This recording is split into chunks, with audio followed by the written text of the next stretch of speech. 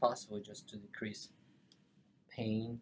The end of the needle, where is it located in the knee? Right now, Yeah, like in the actual joint space. okay.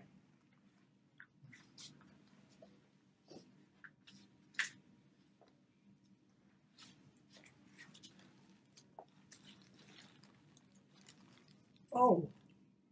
Oh. Oh. Oh. I'm sorry, man. Oh.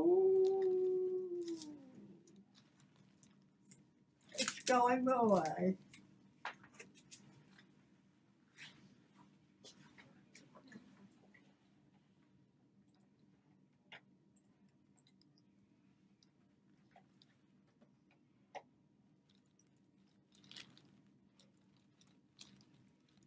So obviously that's just enough fluid for us to get the uh, done and stuff like that. So